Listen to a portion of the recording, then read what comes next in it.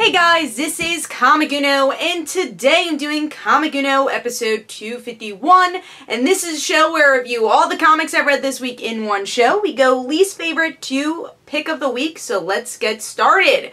So, I actually had a kind of light week this week, it seemed like a lot of people did. Uh, I actually picked up like an extra book or two because of it, uh, but number 15 for me this week, 15 books, uh, was Hunt for Wolverine, Weapons, Lost issue 4. Didn't like last week's book, and I, I didn't like this week's book either. I just don't see the point of, of these miniseries. Uh, I like the first issue of, of most of them, but as we get along, I I don't know if we needed these miniseries. I think we could have just had the one one shot and now the last one shot, which is actually gonna give us the answers for Wolverine. I feel like uh, we didn't really get to even see their relationships with Wolverine. It was more about the hunt, but you never see Wolverine, so it's not as interesting. And I think this one especially is so far uh, from Wolverine. They really tried to connect Daredevil and Wolverine because Charles Soule writes Daredevil, so I felt like the connection uh, was a little bit too loose there. So Weapon Lost issue 4 gets two stars, and that is my number 15 pick. Now moving on to number 14 which is Deathstroke issue 34. Uh, reason this is a bit higher, I, I, like the artwork. I mean, the action's really good, especially for this versus uh, story arc that's been going on for way too, uh, way too long.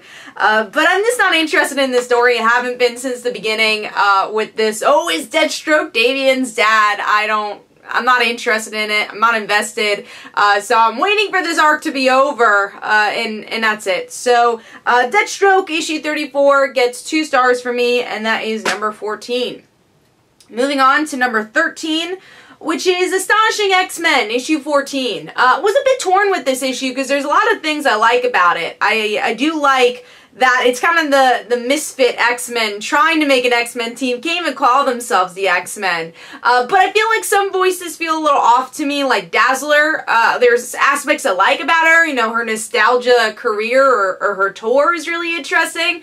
But anytime she talks, I feel like she's trying... Uh, to one up everybody, and that never really felt like Dazzler to me, so I wasn't a big fan of her voice in this issue, uh, but I like the direction it's going. Another reason this is a little lower, Greg Land's artwork, and, and one thing I've realized about Land's artwork, gorgeous covers. This is my favorite cover of the week. But then uh, his interiors, the, the facial expressions are just way too much sometimes. I didn't really like Dazzler's new look with the, the brown hair, uh, and then she had to wear a wig. I didn't really get why they had to do that.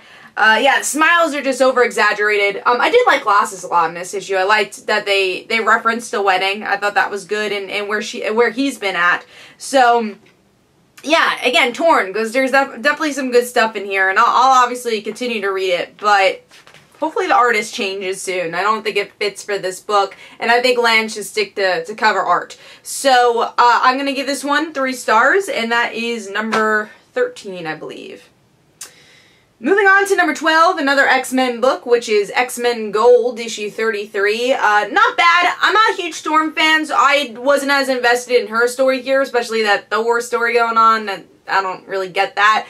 Uh, the Rachel stuff is a little slow. It's her dealing with that last arc of her, uh, you know, being controlled and not knowing why, and, and maybe the X-Men not trusting her because of it, or feeling like the X-Men uh, don't trust her. Uh, it's definitely a slower issue here, a lot set up for Storm's story, and slow aftermath of Rachel, but I thought the artwork was really solid uh, across the board. I will say I think Rachel and Kitty ended up looking the same at some points, where I'm like, wait, is this Kitty? Is this Rachel, especially here because this looks more like brown hair than red hair. So the coloring was a little off at times, but uh, other than that, I, I, thought the facial expressions are solid uh, across the board. Just kind of wish Rachel and Kitty looked a, a little bit more different here. Uh, so gonna give that one three stars. Moving on to number 11, which I did an in-depth review on, and that is Infinity Wars issue 1. And I wasn't going to originally pick up this book. I didn't really read the prelude. I read like one issue of it, wasn't into it.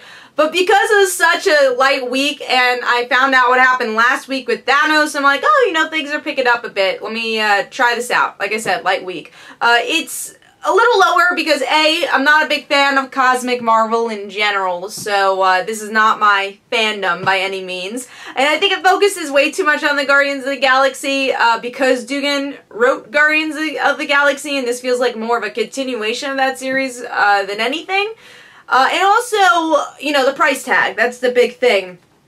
$6 for this book. I think they could have thinned it a bit more to get to maybe a $4.99 price tag would, would have been a, a little bit more reasonable.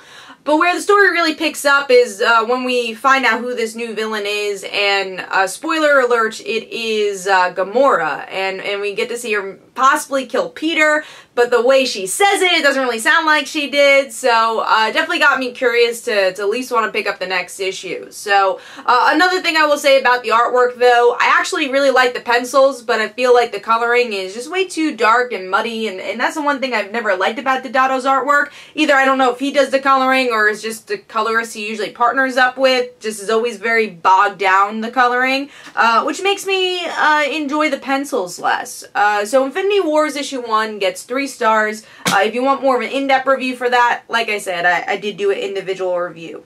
So that's number 11. Moving on to number 10, uh, which is in the middle. Usually it's a little higher, but Injustice 2, issue 31. Uh, it's more of an action issue and, and kind of placing pieces on the board. We get to see Hal get his Green Lantern ring back. Definitely the best moment of this issue being Lobo getting his Green Lantern ring. I thought that was a really cool ending. But uh, the reason this is higher than some of the other books, the artwork is gorgeous. Uh, some of the best artwork I think from DC and in comics right now is in Injustice. The facial expressions are just so good, uh, and you get so much emotion here. The coloring is crisp. I, I really like the, the artwork here. Uh, but again, this is mostly an action issue placing the pieces on the board uh, to continue the story. So I gave this one three and a half stars. I wanted a little bit more character moments uh, like I'm used to with Injustice. So, uh, like I said, three and a half stars. Moving on to number nine, which is Frozen, issue one. Uh, I've been picking up uh, most of the Disney books over at Dark Horse because I'm a huge Disney fan, if you don't know that. Uh, and this one I actually was pleasantly surprised by. I read uh, the previous Frozen book, which I don't, I think it was Joe Books who released it. And it was more short stories, and they were so fillerish, and uh, I understood why, because obviously Frozen 2 hasn't come out yet. We don't know what that story is going to be, so you don't want to step on any toes, and also it's a kid book, so you don't really need to put any real plot into it. Uh, you could just have fun adventures with Anna and Elsa. But here I really like the issue because we actually do have a forward story here, a real plot where this girl from another town, a mysterious girl, uh, you know, ends up in Elsa and Anna's village and uh, she runs away. We don't really know why. And we learn a little bit about her family. Uh, and Anna's trying to find a, uh, her place in, in the town because she's not queen. So what does she do? What's her role? What's her job? So I enjoyed that aspect. Um, I wanted a little bit more from the sisters as characters. Uh, that would definitely be a small complaint of the book, but I thought it was a good start for the first issue. Uh, overall, I liked the artwork. I actually expected it to be a little more cartoonier than it was. Like, uh, the expressions, I, I wanted a little bit more from, especially the, the mouth, the, the facial expressions. I, I wanted a little bit more energy because it is an all ages book and it's Frozen and Disney. But uh, overall, like I said, three and a half stars. I was impressed with this book and got more than I expected with this one. And I think it uh, will learn a little bit more about itself as the series goes on. Definitely will be picking more of that up. So that's number nine. Moving on to number eight, which is Ant-Man and the Wasp issue four. Uh, this has probably been the highest that this series has been. I thought this had a lot more story than what we've been getting, and we get to see Nadia and Scott thinking they're back on Earth and Nadia just trying to figure out, hey, what ended up happening in, in the quantum realm. And then Scott goes visits his daughter. He realizes something's up. Why does everyone love me? Something's up with my daughter. Like, what's going on? And they realize they're actually not on Earth. And I thought it was cool the, the way they played with that, especially Nadia just trying to impress her father because she sees Hank. That's the real clue that this is not Earth. And she's like, oh my god, dad, you know, this is what I've been doing. This is, you know, let me catch you up. And Scott's like, you don't have to impress your dad that's that's not you know what your relationship has to be and i really like that moment and i think finally you get to see these two truly connect and you want to see more from them kind of wish this moment was a little earlier in the series um also i like the artwork overall at least for the the world building I really like, but I didn't love Scott's facial features. Uh, the 5 o'clock shadow didn't really quite work for him. Uh, I don't know. It just kind of looked weird, his face in, in this issue, but I liked the surroundingness of the artwork. Uh, so overall, I gave this three and a half stars. Definitely interested to see how it will conclude, and I thought this was one of the better issues. Moving on to number seven, I believe we're up to. Yes, we're up to number seven, which is Immortal Hulk, issue four. Uh, got this digitally because I forgot it was coming out this month. I don't, uh, well, this week. Uh, because it just came out, I felt like. I mean, it's every two weeks, but I didn't see it on my list, and that rarely happens, and I saw it on um, comic book roundup. Usually I like looking at the, the ratings after I read a book or read my books to see what people thought. Um, and I was like, oh my god, Immortal Hulk came out. So, uh, yeah, Immortal Hulk came out, and this is a lot better, this issue, than last. Last issue was kind of weird, filler, definitely did not fit for a beginning of a series issue. And then this one we get to see uh, Bruce's college roommate and you know he's been affected by the gamma rays and uh, it connects to this whole death scenario going on with Immortal Hulk and how he survived and, and what this means about the Hulk and, and you definitely get the horror feel that I really liked about this series so I thought this was much more of an impro improvement I wanted more Bruce in this issue, but definitely a step in, in the right direction. And the artwork is so good. It's haunting, uh, but it's not too dark where you're like, okay, this is just totally a horror book. It feels like a classic Marvel horror story, so I enjoyed that. So uh, that's number seven, and I gave that three and a half stars. Moving on to number six, which is Batman issue 52. Uh, I thought the last issue was a little bit better. I, I expected at least the people will be swayed by Batman a little bit more here, but it's really just Batman trying to explain this is why we should look at the case further. And, you know, we get to learn a little bit more about the other people. Um, but you never get a moment where the other people are like, Bruce, you might be right. I think I would be more convinced if at least one person said, hey, okay, like, Bruce, let's, I, totally agree with you, or something. I, I don't know. But I, I felt like this was a slower issue than it had to be. Um, but I love the artwork. I, I really love the anger that we get to see from Bruce. I like the transitions. So overall, I'm going to give this one three and a half stars. And that was number six. Moving on to number five, uh, which is a new series. This was another series that I, on kind of when picked up because it was a small week, and that is The Seeds, issue one. Uh, big fan of David Aja. I, I, I like Hawkeye a lot. I, I liked his run, so I was looking forward to this book. Uh, and I, I didn't really know much about it. I just knew it was going to be a political journalism style uh, story. And I liked what it had to say. I will say that I think it, it was trying to say a little bit too much. You have the wall, you have environmental stuff, so it was a lot of topics at once.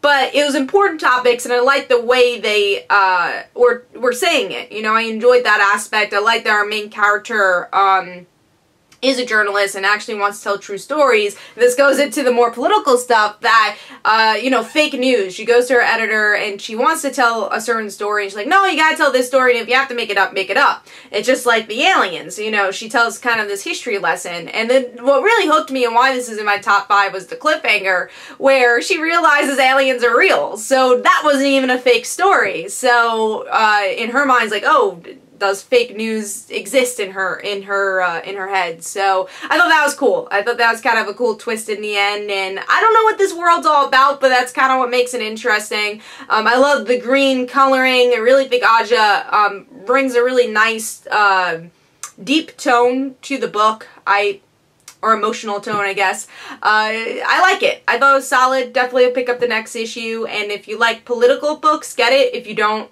this probably is not the book for you, but uh, I gave this one four stars. Moving on to number four, which is just fun, fun nostalgia, and that's X-Men Gold issue 2 annual. Uh, I'm a huge Kitty Pryde fan, if you guys don't know, I am. Uh, and, you know, this reminded me of, like, really old school Kitty Pryde, like the, the fairy tales issue. It kind of reminded me of that, uh, but a little bit more serious, where Kitty uh, goes to summer camp to kind of to try to feel normal, and she realizes that people are bigots and uh, they are against mutants, which uh, is something in in X Men that I feel I I wish not everybody was a bigot. That's who's not a who's not a mutant. I think that's something that X Men could do better at. At saying, oh yeah, well not everyone's against mutants, but I understand the political aspect why they end up doing it. Um, but uh, in this issue, it's kind of standard X Men. Everyone in this camp are bigots except the mutants, and uh, I did like this love in uh, this love interest thing though, uh, which I thought was ended up happening in the end a little too quickly, but I liked what it meant, uh, where we get to see this guy who's also a mutant and thinks that Kitty is a bigot just because of the people she hangs out with, and he's like, no, you know, I'm a mutant too, and they end up kissing, and he's kind of disgusted by it, and he's like, no, you know, we, we can't further this, we can't further the mutant gene, you know, we end up um, having a kid, which he's definitely overthinking things. He's like, oh, we have a kid. Um, uh, he's definitely rushing things, but if they do, then uh, they'll definitely have a kid who's a mutant, at least in his mind. So uh, he, it's interesting because he also has like these these kind of elf ears, so he has a harder time hiding hiding his mutant gene, and he wants to hide it. So uh, that's always been interesting about Kitty's uh, character as well, is that she's somebody who could easily um, not you know, uh, you know, she could hide being a mutant, but she doesn't, and because she's proud of it, and she's proud of being a mutant, which you know she should be proud of it, and she's always you know fighting for for people. That's what the X Men are for, you know, fighting for equality. So, uh, and, and you really get to see that in the forefront here with her, you know, love interest and and just trying to be normal, but realizing you know normal's overrated. Uh, so I think it really hits on a lot of earlier themes with Kitty and why people loved her character and, and still do love her character and, and why she's an important character. Uh, so I really like that. I think there's some aspects that feel a little rushed and, you know, tropes that uh, I'm kind of tired of with the X-Men. Again, like everyone has to be a, a bigot for uh, for mutants and that I felt like the the friends, uh, you know, Kitty forgave her friends a little bit too easily. Uh, I think if they found out she was a mutant and didn't care, that would have been an easier uh, way to say, okay, now I can understand why Kitty would forgive them for, you know, being bigots. Uh, and then in the love interest, I do think was a little I wish that he was established earlier in the issue. That way it, it, weaved in a little bit better, but overall, it's a really solid issue. Uh, I like the art style. Kind of reminds me of Joe Eisma's art style from Morning Glories, and he's been working on some Archie stuff now, uh, and I like his style a lot. Uh, there's some places that feel a little rushed. That, that would be my uh, small nitpick. Uh, but like I said, I, I, enjoyed this one. If you're a Kitty fan, uh, or, or just 80s X-Men fan, uh, I recommend this one. So uh, I gave that one four stars. So moving on to number three which is Go-Go Power Rangers, issue 12. Now, this is really hard because I loved Go-Go Power Rangers, and I loved all three of these books. Uh, so it was really hard to rank all these. These are all four and a half star books for me. So, but Go-Go Power Rangers was really good this week, uh, and what I really enjoyed and something I've been waiting for is uh, for Matt to find out that uh, the Power Rangers are his best friends are the Power Rangers, and he finds out in a in a sneaky way. He finds out with Ranger Slayer Kim because she's the only one who can tell him, uh, and she says, "Hey, you know, I've been hiding this forever, and I, this is something I've always regret regretted. I am, you know, a Power Ranger, and and." It's kind of off screen where where she says it or off panel, and then Matt says, straight up to his friends like just tell me you know? Like i won't get mad like just just tell me and they don't say anything and that's when he gets mad because they can't say anything. So i thought that was a really interesting ending and i'm looking forward to see where that goes post shattered grid. Uh, other stuff I really like, I mean, the action was really good too. I mean, I love uh, Kim's uh, fight with uh, with Tommy, where she's able to go back and and she's ready to kill him, but she doesn't. She doesn't kill him, and I thought that was a really uh, good move. You know, that she doesn't go all vendetta. Um, she actually just tries to help him not to become Lord Drakkon. So we'll see how that plays out in Mighty Morphin and if it ends up doing anything. Uh, so I love Ranger Slayer, uh, Ranger Slayer Kim though. I just love her character. Uh, I, and my only nitpick for the issue is probably, um, which is a really good scene, but didn't fit for me in this issue, uh, was Jason's uh, father. Um, it's like one page, I think, so it's just obviously a really small nitpick. Um, it's just that Jason's talking to his father and he's saying, oh, we have to talk about this. And it just felt like it didn't fit this issue. Maybe that would have been better post-Shattered Grid, which I'm sure they're going to deal with it post-Shattered Grid. Uh, but maybe because Jason just didn't have as much, so that's why it was added. But uh, overall, I love the artwork. There's some really good uh, action between the Zords, especially Ranger Slayer's uh, Zord. Uh, some really good stuff in this one. And also you get a nice cliffhanger with Ranger Slayer Kim where Grace comes up to her. So we'll see if that's going to play out in Shattered Grid or obviously the new creative team is going to have Ranger Slayer Kim be the leader of that team. So is Grace going to be involved in that? We'll have to see. Um, which I'm actually been surprised that Grace hasn't been utilized in Shattered Grid as much as I expected. So maybe post Shattered Grid we're going to see a little bit more of her. So Overall, I gave this four and a half stars. Like I said, really enjoyed this issue and can't wait to see where this series ends up going and obviously where Shattered Grid ends up going. So as my number three, And I love this cover too. More Ranger Slayer Kim. Give it to me. I love her. Uh, Alright, moving on to number two, which is uh, Mr. Miracle, issue 10. Uh, this was probably one of my favorite Mr. Miracle issues. Uh, I just love how mundane it is, and that's kind of what I, I love about it, and it's still entertaining. You know, there's moments where uh, Mr. Miracle is, you know, Scott is trying to buy a birthday thing for his son, and is just using the chip. And there's that awesome beat where he just has to wait. He's like, give it a, mo give it a moment. We've all been there. Uh, so it's you know that's the best part about this uh, this comic is that these are gods. These are people fighting wars about being gods. But then you have these small moments of planning a birthday party or putting the chip in uh, the credit card machine and and you get so many great moments like that you get to see Mr. Miracle get drunk with his friends you get to see him have marriage issues and I really like how they tackle depression here uh, you know it's been something that's been tackled in almost every issue but now it is Barda fully saying is it because of me? And I think, you know, how loved ones can handle depression um, was showcased really interestingly here, and, and it just was a really emotional great scene. And then there's just a ton of meta stuff in this one too, like uh, the whole team saying, oh, what's gonna be next? Red, gold, blue. I feel like it was a little dig at X-Men. And then you have, uh, if you know anything about Tom King, he always does these like bad drawings of like Batman anytime he signs anything. And you have like this whole entire page of that. Let me see if I can find it. Of, uh, of his son creating a story. You even have the Sheriff of Babylon t-shirt. It's, you know, there's so many meta aspects to it too, but it's so grounded. And the small beats that we kind of take advantage of and that make it so realistic uh, is what makes the series. It's the mundane that makes the series so much fun. And I, I kind of wish more series had time to do that, uh, to really show kind of the awkwardness of life sometimes. And I think that Mr. Miracle does a really good job at that. Uh, so overall, I gave this one four and a half stars, and that is number two. Moving on to number one, you guessed it, guys. Paper Girls, issue 23. I, I love this series. It's my favorite series out there. Uh, so, uh, yeah, had to talk about this one, and I'm so glad it's my number one. Uh, and we get to see a little bit more about this world. We get to see that woman who was, like, hiding those uh, uh, objects and trying to sell them and uh, she interacts with the two Tiffanys and Erin. Uh, so we we get to see a little, learn a little bit more about Worry, and and they end up interacting. So it leads them to the villains, and they don't even know it.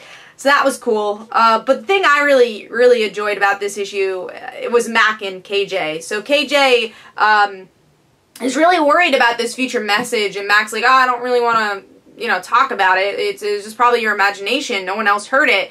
And I love that KJ guessed what I guessed last month, where KJ's like, well, you know, if someone was dying next to you, it probably was me. Uh, so she's worried about it. And Mac's like, well, if anyone's gonna die, it's, it's gonna be me, the one who's gonna have leukemia. Uh, and, and then Mac brings up the vision, and KJ finally reveals uh, what she saw in the vision. And I love the way she says it. It's it's awkward, and I and I love it. And it's exactly the way KJ would say something. I just said we were romantic. uh, and Mac's like, what? And she is in denial. And I really like how they show denial here. And she's like, that's disgusting, you know. Uh, and she pushes KJ uh, and there's a moment where she says, um, if you want to grow up to be a pervert, I can't stop you, but it's got jack to do with me. Get it? And then KJ's like, yeah, got it, I guess. You know, uh, so it's just the way KJ reacts to it. It's just such a good scene, and I, I can't wait to see where their relationship ends up going. Uh, and then we get, uh, finally, Mac and KJ find the doctor that can help Mac. Uh, and then Mac does not have the insurance chip. She's like, oh, I can't help you. Uh, and then KJ, uh, we finally get to see a little bit more from what we saw in last arc where KJ killed somebody. And she's willing to kill again. She's like, I've killed somebody and I don't have a problem killing you to, to get what we need.